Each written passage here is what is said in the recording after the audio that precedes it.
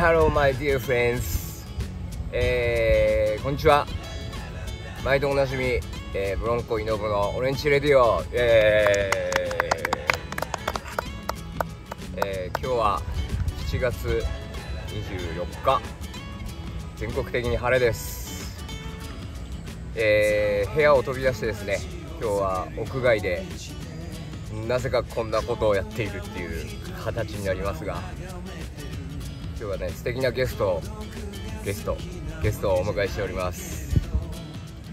えー、っとね俺の同級生で、まあ、幼なじみで私をライブハウスに連れ出した張本人ですね。若かりし時、えー、シンガーソングライター。シンガーソングライターか。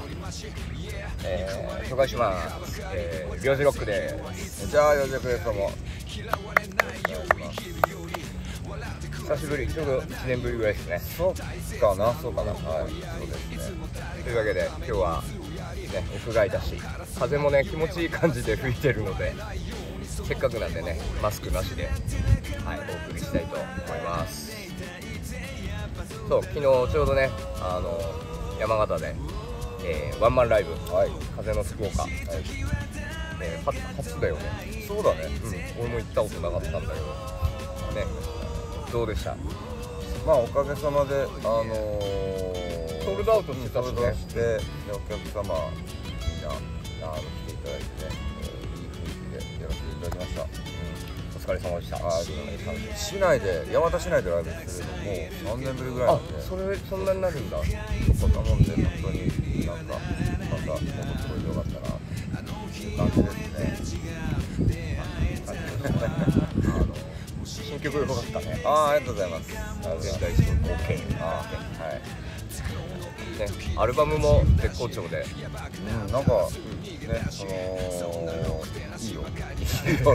いいよってどういうあれ？いつだっけ出したの？もう1年前かな。去年の6月の自分の誕生日に出してるんで。もう丸1年経ってるんだけどまだなんだろうあの去年そのアルバム推しでずっとやってるので、うん、いい、んだよいいんだよ。とかいい。んですよそうね結構たまに聞きますよ。はいうあのミッドナイトウェイトはいはいであれだ昨日のライブも急遽なんか自前で配信してたね。そうそうそうそう。あのー、まああの配信設備ないだろうなと思っていて。で特に考えてはなかったんだけどまああの都内の方でも、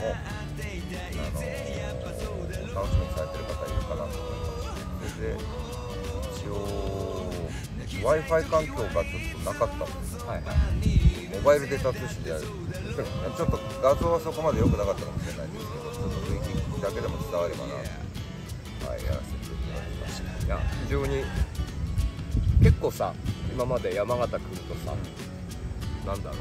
あ力んでんなって思っちゃう。な見てたから。でもまあなんかね、うんうん、昨日はそんな感じなくいつも通りまあ、東京とか仙台とかで見る両地獄のライブだったなって感想だったんですけど素直に。そうねなんだろうなやっぱり帰ってくるとその帰ってきたなってその力入っちゃうよね、うん、気持ちね、うん、自然にって無意識に入っちゃう部分はきっとあるんだろうけども今回は何だろうなあのー、まあだいぶ経験も積み重ねてきてますのでソロ活動ももう5年丸5年になりましてね。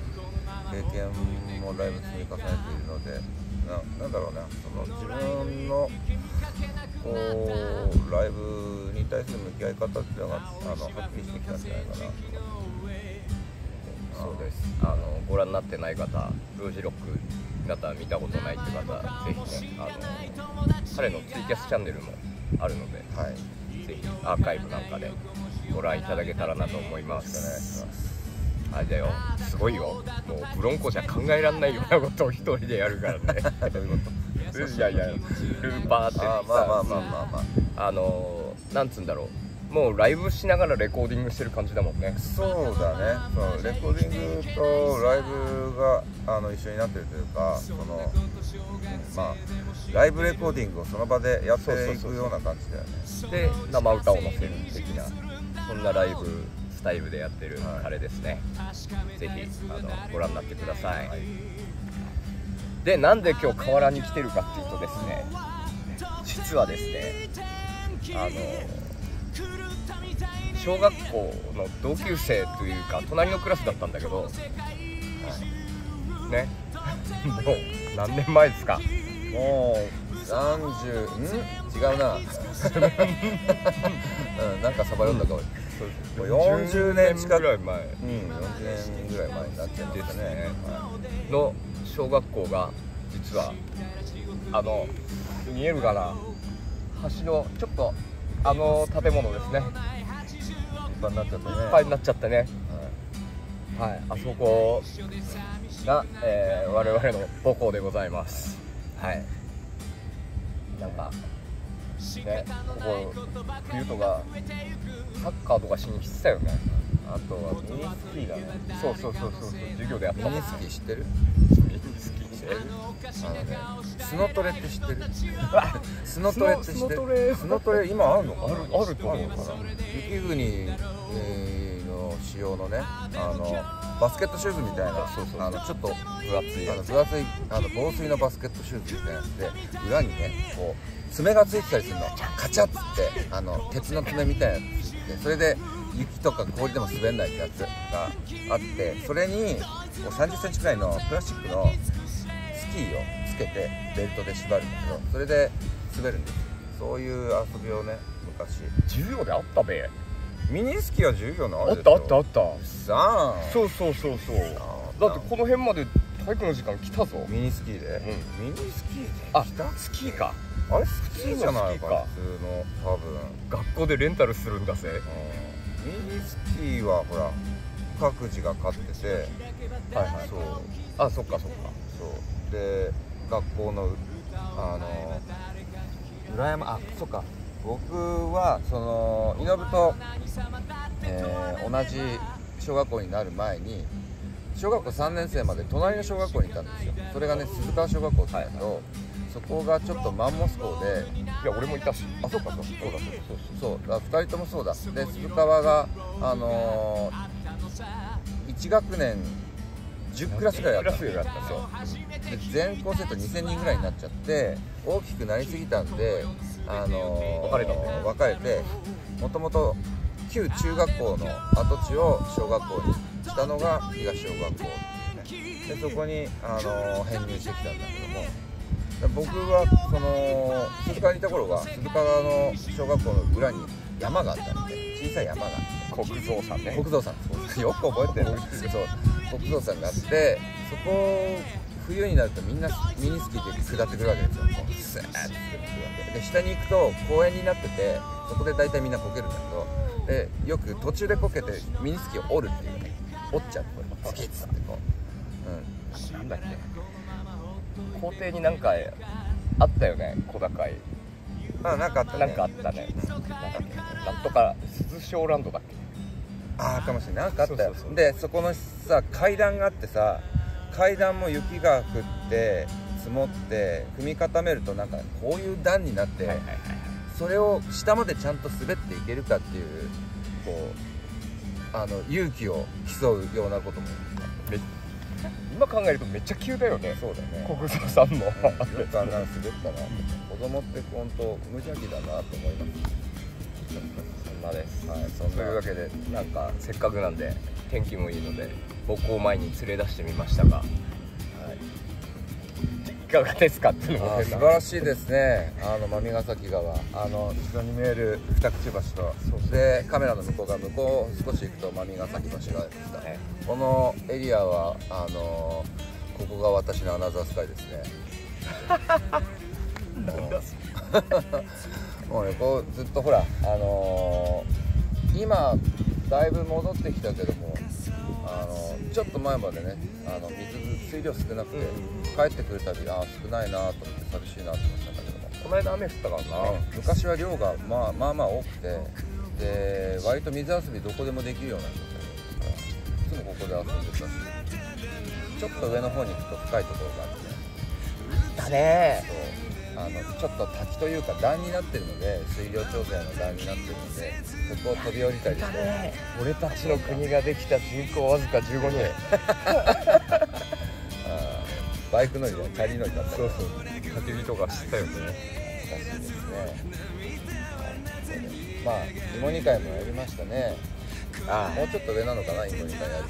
いやどここでもやるのかな。この辺でそれこそ授業でもあったもんな。あのー山形は9月になるとあの表にブルーシートやらレジャーシートを敷いてそこで河川敷の石を使ってかまどを作ってそこで鍋で芋煮をするっていう文化がある里芋と牛肉とこんにゃくこんにゃくとあとネギで市内は醤油味そうで醤油入れてでお父さんが一生瓶で飲んでるお酒をそのまま入れてお砂糖入れてみたいなすごくアバウトな鍋なんですけどそれだけでも美味しいっていうね、結構今お土産で重宝されるよ芋煮が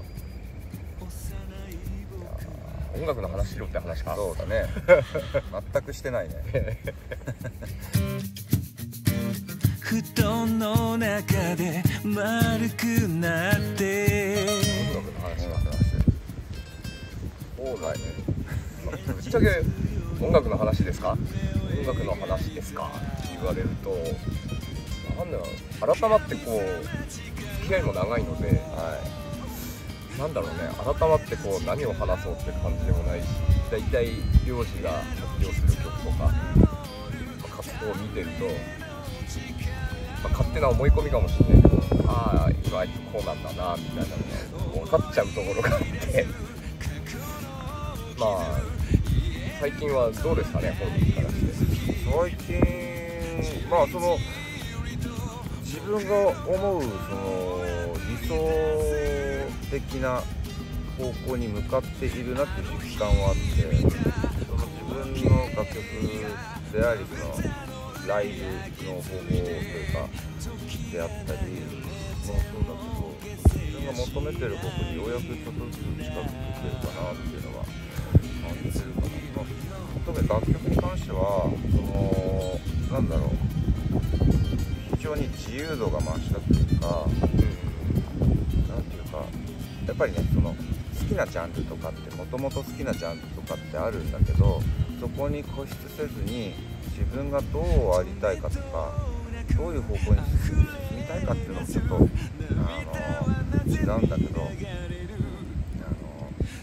ちゃんと解放して良いものををあのインプットして良い形でアウトプットできてるかなっていう気はなるんだ結構ね各地でやっぱりもうソロソロでこうやってツアーとかやり始めて、はいはい。丸5年。そうだね5年経っちゃうね。結構お客さんもねあれだよね各地で待ってる人すごいいてくれるなと思って羨ましい限りいやいやいやまあ そんなあれでもないですけどなんだろうその自分まあ自分がどうこうよりもその曲が浸透してくれるのは嬉しいな。で例えばシンガーソングファイターとかだと、まあ、別にそんなねメジャーでそのプロモーションをしているアーティストではないのでそんな全国区でみんなが知ってる曲じゃないんだけど例えば大阪に行けばあのライブバーで必ず PC でかかってるとかそういったことであこれ誰？っていうはい演者からあの演者から認識されていくこともあるしそうやって来たお客さんが PC でかかってるこれなんだろうってそれで知ってくださることもあるしあれがなん自分の中ではそのきっかけになった部分いろんなとこでそのアンセムのように広がってくれてるのはちょっと嬉しいなと。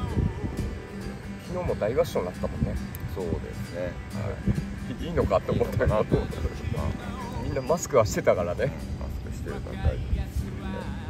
そうそうそうそう。昔は散々言われたけど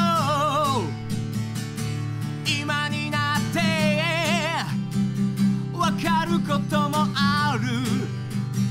それなりにいろいろ